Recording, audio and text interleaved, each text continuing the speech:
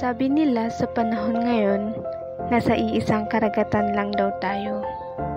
Pero hindi nila alam, ibang-ibang bangka ang ginagamit natin sa paglusong.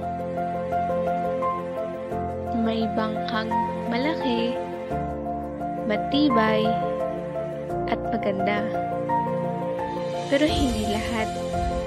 May bangka ding patuloy lumulusong kahit mahirap, kahit parang masisira na.